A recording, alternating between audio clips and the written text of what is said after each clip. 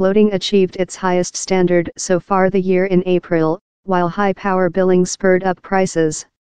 The Office Space for Domestic statistic told the customer cost code was 2.1% in April, up of 1.9% in March. How is over the 2% goal set by the Banking of England but less than rather than anticipated.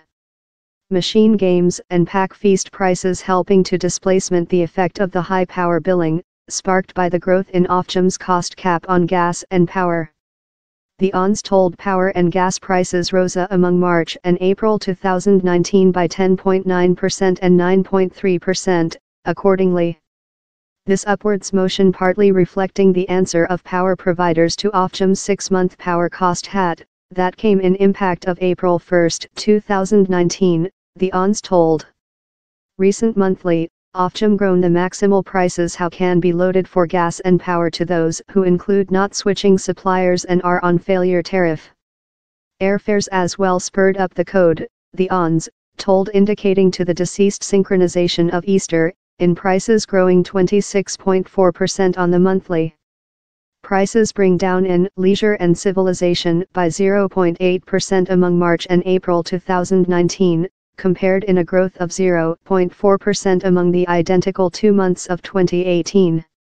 Prices of games, toys and hobbies bring down, especially machine games, the ONS told.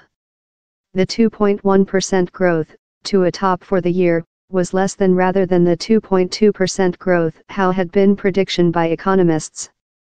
Concern rates include been at percent with recent August Suren Thiru, Chief of Economy at the UK Chambers of Trade, told down there was slight cause for the Banking of England's Cash Politics Board, MPC, to go rates quickly.